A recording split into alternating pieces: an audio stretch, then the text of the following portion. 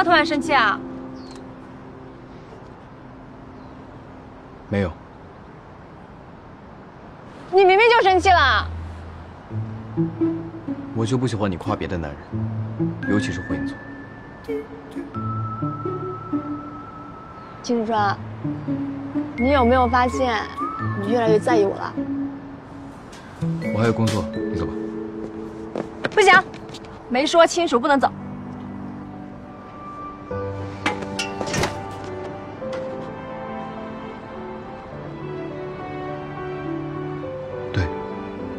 我很在意你，而且是非常在意。